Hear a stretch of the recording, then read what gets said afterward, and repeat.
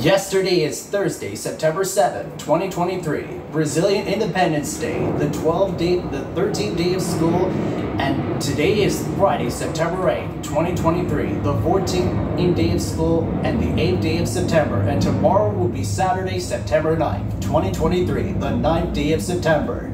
Thanks for watching.